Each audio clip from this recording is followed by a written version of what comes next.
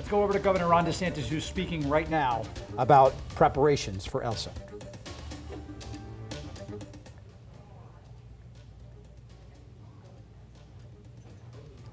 Late tonight, you're going to see impacts all across the West Coast, uh, up the West Coast into the morning hours. We're anticipating a landfall probably between 8 a.m. and 9 a.m. tomorrow, somewhere again on the Nature Coast or Big Bend part of Florida.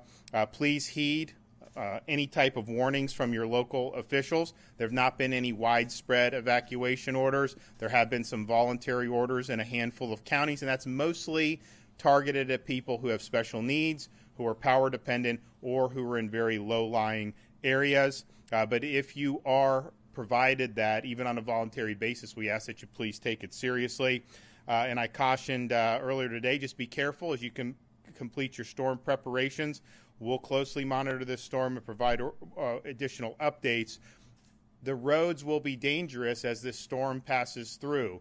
And in some ways, it's fortunate this is going to be in the in the wee hours of the night. There probably won't be a lot of traffic on the roads in places like the Tampa Bay area and in the Nature Coast, uh, midnight, 2 a.m., 3 a.m. But this is not a time to joyride. You do have hazardous conditions out there. And then if you do have a power outage, please, if you do use a generator, understand you cannot allow the exhaust to be inside your home, inside your garage. And if you set it up right outside a window and have the window open, you can still get the exhaust to come into the house. That will lead to carbon monoxide. People, we see fatalities. We've seen them the last four years in Florida as a result of that. So please, if you are experiencing a powder outage and you're going to use a generator, make sure that that exhaust is exhausting away from your home and is not being done inside uh, the structure. Uh, we'll continue to have updates. We don't anticipate major changes to the track at this point. Uh, but if there is, obviously, we will be getting those from the National Hurricane Center, and we'll be passing along that accordingly. I'm going to let Kevin Guthrie, our Emergency Management Director, come up and say a few things. Thank you, Governor. Thank you for your leadership in this response. Um, as you've heard the Governor detail uh, in great detail the preparations of the men and women behind me of the state emergency response team. They are prepared for this disaster and they work 24 7 to ensure that we're ready for it. Again, you heard quite a few details um, from the governor on the actual capabilities. The State Logistical Resource Center is also working 24 hours a day, seven days a week, with approximately 50 National Guardsmen to help us there. Um, and the last thing that I would say is um, since we have very few power outages now, I would remind people if they wake up in the morning and they start to have damage, they see damage, the best thing that you can do as a homeowner is to go out and photograph that damage. Make sure you take pictures before you start cleaning up, especially if you have any type of flooding. Flooding only lasts temporary, so it's it's very important to get those high water marks, flood marks on your homes, and then take those pictures very, very quickly. With that being said, uh, again, as the governor said, we will provide additional updates as we have them. Thank you questions for Kevin or for me? Governor, um, you requested a uh, emergency declaration from the, the president before landfall. You, I know. I guess we might get it. Uh, do you anticipate getting it? And if we don't get it, it's been, it's been approved. Yes, sir. Yes, sir. It's been approved. Yep. Yep.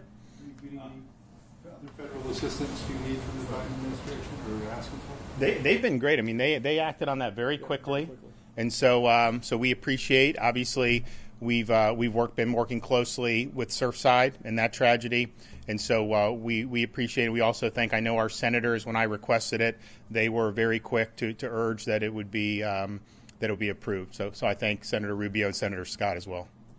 On the, the search and rescue stuff, I mean, obviously there. I think everybody was, you know, in on on Surfside. Have, have been any of those personnel been staged? No, we have search and rescue that are ready to go. Um, and and I want to thank. I've had an opportunity over the last few days to be able to visit with a lot of uh, urban search and rescue from other states who came down. Obviously, Team One and Two are down in South Florida. They were there from the beginning, 24 7. They worked their hearts out. We brought all the rest of the search and rescue teams from Florida down there.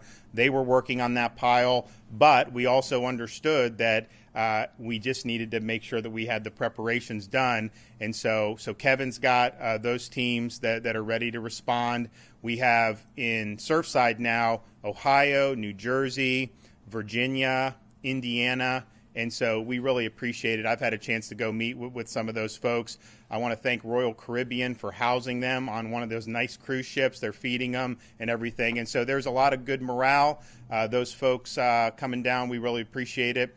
And, you know, I told them, I said, um, something tells me that um, some of you guys and firefighters, you just may retire to Florida. So we'll probably see them at some point in the future. We'll have an update more tomorrow.